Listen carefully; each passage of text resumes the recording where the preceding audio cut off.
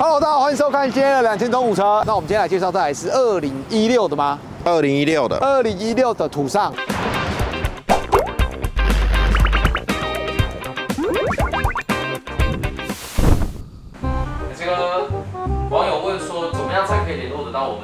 我？拜托，这个这么简单。但是看完影片以后呢，下面影片的资讯卡打开呢，有一个想找车连接，你就要点击进去，把里面的问卷填完。那我们就会最快时间联络到你。那如果说你是想估车的人呢，那一样下面的连接点开以后呢，填写完表格，我们马上就会联络你哦。二零二四年呢，大家今年过得好吗？祝大家龙年行大运，新年快乐，心想事成。有任何关于汽车的问题，欢迎你们找两千中午车，都可以替你服务哦。祝大家龙吼利坦，龙吼阿坦，大家赚大钱，新年快乐，拜拜。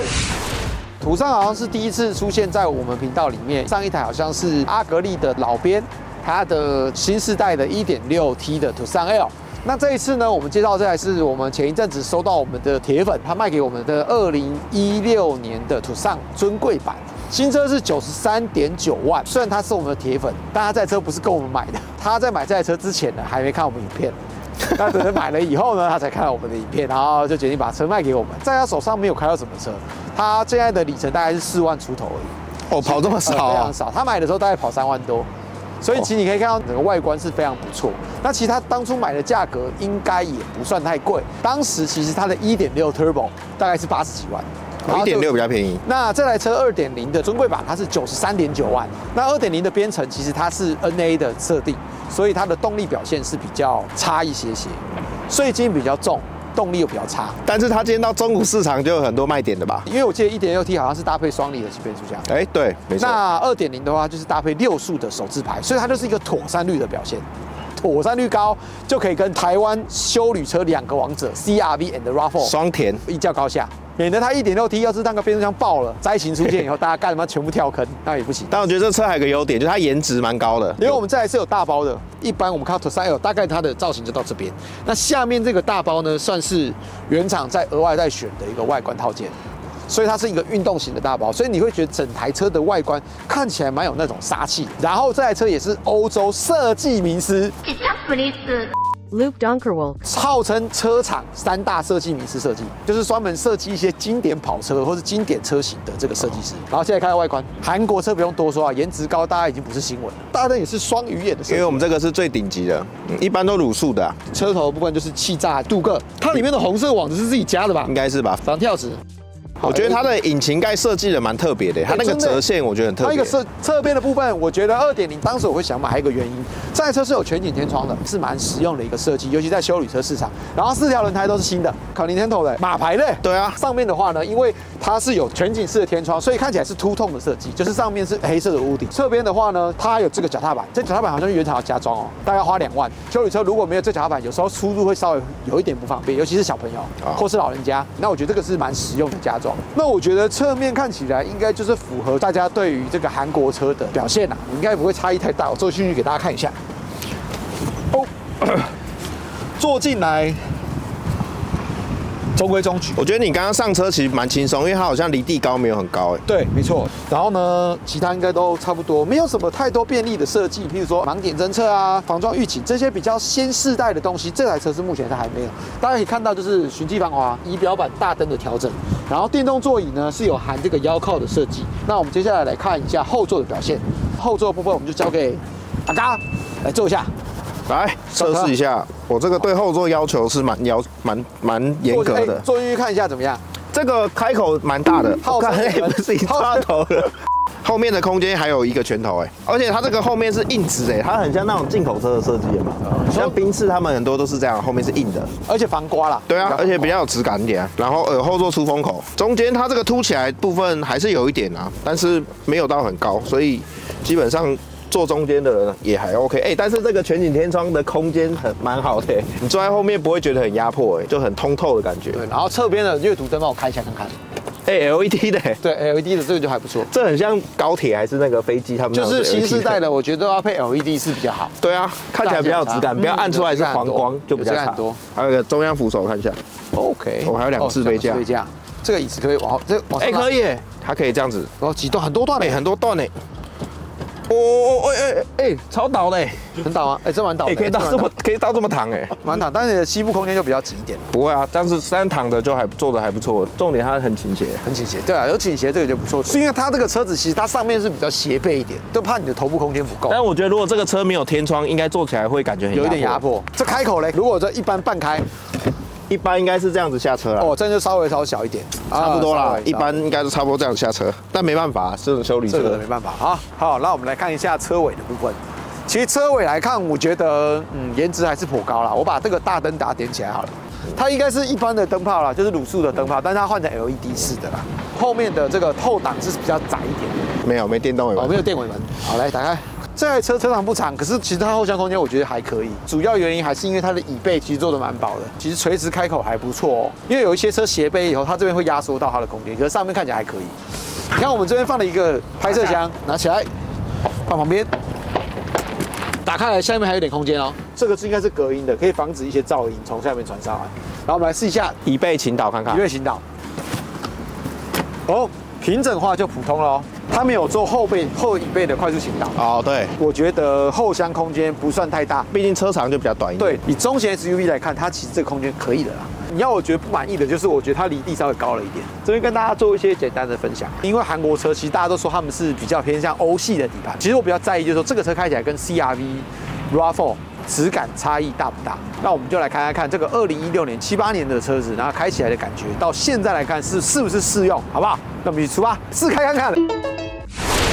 哎，这台是二点零旗舰哦，尊贵版就是尊贵版最顶的全景天窗那么大一个。哎，全景天窗我是觉得在修理车是真的是蛮重要的。他说这个是同级车里面最大的面积的天窗，直接通到后座。哎，其实像我小孩子。他就很喜欢有全景天窗，他觉得是可以看星星。对啊，这有通透感。好，我们来开看看这个车子，因为其实这台特上好像我们是第一次试，是不是？二点零 NA 的嘛。对对对对对对对对。我这有个朋友，他是买一点六 Turbo 的，他当时买并没有很贵。就是我们在中国车市场上，你会发现这台车一点六 T 比二点零的保值性更好，大家就会喜欢它是有一点六的涡轮。然后它一点六 T 好像还有 Sport 版，那二点零的话就是比较中规中矩的表现。如果要讲实在的，大概缺点就是什么，你知道吗？缺点部分应该是油耗吧，就是油耗比较差。对，二点零自然进气的，它好像是比这个一点六的油耗来的更差。这台车平均大概是十一点六，那市区呢？八点五八而已。八点五。可是我觉得你要回推到二零一六一七年那个年代，如果你今天对比当时最大的对手二点四的 CRV，CRV 就比较差一点，它是八点一。它平均是十一点多，哦，是十一点多。二点零 CRV 嘞，二点零的 CRV 平均就有十二点八。那这台如果对比二点零一样的就是税金集聚，这一台车就是油耗比较差一点。对，还有 RAV4 也比 RAV4 差。这个车其实它的长度很出乎我的意料之外，特别长还特别短，特别短。所以后来才改途上 L 比较长一点。对，没错。一般我们 RAV4 长度是大概四米六，它这个车长比 Artis 还要短，不到四米五，跟 Vios 差不多。可是它的轴距蛮长的，它的内部空间可能不会差异很大。对，但是它的车长又比较好停车。对，车长蛮短的，但是它车高又比较低一点，因为它这个车号称风阻系数是很低，很低，非常低。哦，零点三三风阻这么低，可是油耗没有比较好哎。可能就是因为风阻，它是逆着风跑，逆着风跑，逆风高飞，逆风高飞啊，逆风高飞。因为在这才跑四万多，嗯，所以内装的表现是相当的不错。以前我们对特上最担心诟病的地方，就是它环保材质有那种脱胶的问题。那我刚刚稍微摸了一下，好像都没有特别的感觉，但是自卑架这边还是稍微有一些，有一点黏黏，哦，还是有点黏黏的感觉。那这个部分可能到时候就是后期拿那种除胶剂啊，把这个东西擦掉。那其实里面的塑料露出来，质感不会差异太大。然后双区恒温，六安循迹，这六安循迹我觉得就有感。嗯，因为同级车只有 RAV4 是进口有六安循迹嘛，哦，但是你同年份 CRV 就没有六是四安循迹，对，但 CRV 好像一七年改款小改之后才有循迹嘛，好像 S 规就有，对 S 规的，哎，其实我觉得这台车开起来没有那种欧洲车的感觉，我个人注意比较比较比较不错的地方是这边有一个斜坡缓降的一个定速，我觉得这个蛮实用的。这个我之前看过是在那个苏巴鲁的车上有这个，像我自己在开福斯的露营车，连续下坡，它也会稍微抓住。B N W 跟宾士其实都会有，欧系的，欧系的车其实都有。你平常自己滑行的时候，它不管你。但是如果你今天是在连续下坡下山的时候，其实它是避免你去连续踩刹车。踩刹车。那你只要稍微定速一下，那其实对你来说，你在开山路会比较方便，你刹车踩的次数也会比较少。哦。那我觉得这个是不错的功能。然后客人还换一个安卓机，安卓机就没有所谓太多的新时代的科技性的配置啊。这种车大概在四十多万吧，这个新车那时候是多少钱？现在应该是九十几万。如果以半价左右的价格来入手的话，其实我觉得以修理车来来看，市场上的需求大概都已经算是符合了，动力其实还可以。它搭配的是它是二点零 NA 嘛，配六速的手自排变速箱。对，虽然不到说真的很凌厉啦，但是我觉得开起来的速度还是蛮 OK 的。它的马力大概是一百五十五匹。哦，一百五十，对这就是比较普通。因为现在如果以涡轮化来看，一点五 T 大概就会搭在180八十匹，它动力就会比较好。那这个一点六 T 的应该动力也会比二点零 NA 的好一些。就是扭力会比较大。至于我自己这样开起来，我感觉隔音还可以，安安静静的。当然轮噪声比较大一点，但是我觉得其他都还算是蛮中规中矩的表现。那我个人觉得比较好是这一代的车上，它的那个方向机柱不会像以前我们在开那伊人草比较旧时，它会有一点那咦咦咦咦，就有一点那种不是很滑顺的感觉。这一台我看起来就不会。我坦白讲，我觉得这种车如果四十多万，应该没什么好抱怨的。老板他们说这一代的侧倾可能会大一点。我刚刚开，我觉得还好了。我觉得修理车不都侧倾很大，，啊但是他说这一代那个避震器用的是不太一样，他说用那个什么 SAS 的避震器，SARS 对 SAS SARS 很厉害吗好像是蛮还不错的。哦不是贝斯登的就叫得出牌子的。？KYB 也叫出牌子啊。对啊，KYB KYB 也是吧。我觉得它这个皮椅的材质还不错，这个但是我觉得它这个椅座我不是很高，但我自己这样我都觉得大腿支撑稍微差一点。但我觉得它冷气蛮好的，它冷气因为现在天气很冷啊。不是它冷气有滤空滤，哦，Clean Air 你你闻得到那有空滤的味道？有吗？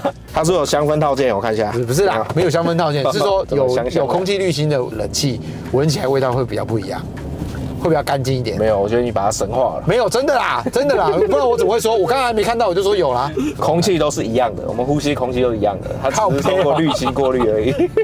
真的有啊！啊，有人要有写就有写 clean air 好不好？没有写 dirty air，clean air 他没有写什么 Ionic 啊，有些人写什么、那是 Ionic 那个是 Panasonic，你不要拿他妈你家电子出来那边跟他比。负离子啊什么的。不是，我们说的这个是纯粹就是闻起来，你现在闻到的空气很新鲜对，有一种新鲜的 OK，fresh 味道。对对对对对对，有一种 clean air 的感觉，我的空气吗？安起来的味道有一点。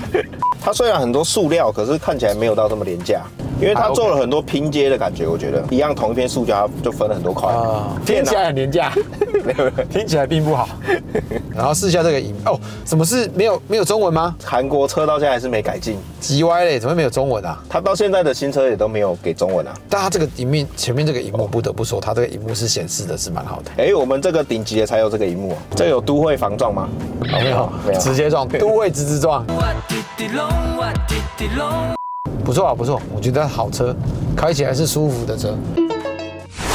很不想下车，下来了。哎，天气很冷，今天几度啊？七度吧，前差不多七八度。差不多七八度吧。开这个车去追雪应该也不错吧？哎、真的超棒的，超棒的。可是这个车没有四传，那离地够高，OK。修旅车其实应该主要还是就是说适合大家载着家人出去旅行。最近我们的那个摄影大哥，对 小编，小编，你每次都一直在酸他，小编开一个 Vios，一家四口，对不对？我已经跟他讲过很多次了。上次酷嘎他就给我放一次鸟，还好我已经卖掉了。OK 他就说：“哎、哥，等我，这我好像也可以，这是我梦想中的车。”结果满趴捏爆了，好像还捏不到，捏爆还是捏不到刚才刚来，那时候刚来。那现在这台车，我觉得小编这次应该是换你可以表现的时候了吧？多少钱？多少钱？这个四十多万自己人，对不对？好不好？没关系啦，四四六六七七八八。阿嘎来阿 K，你要点金。如果真的今天是一个就是实用派的车主，那如果你喜欢露营，我不敢讲它一百分啊。但这个车我觉得有可能是很多人心目中的一百分，因为它这个价位来说，我觉得是蛮平易近人的。七八年左右买要半价，我不知道大家觉得划不划算。我个人觉得，如果有全景天窗，这一点是很蛮吸引我的。RAV4 或者是 CRV，他们两个是没有的，这对不对同年份那时候同年份他们是没有的。而且我觉得这台车主要是低里程，然后白色颜值够高，外包这些里程数东西都都已经有一个跑四万公里而已跑，四万公里而已，这绝对是一个很加分的条件，好不好？这个也是要加钱的条件哦。要加钱，听到了吗？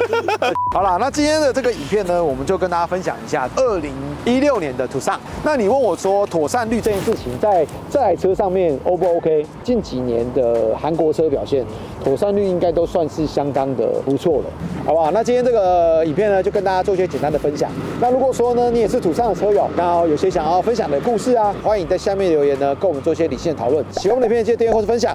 如果想了解更多关于中古车资讯，欢迎上 Facebook 搜寻两天中古车，记得收听我们在 Apple Podcast 的全力性准备，你可以搜寻一下。那我们会分享很多关于中古车知识。那今天两千中古车，我们下课了，再见啦，拜拜。拜拜。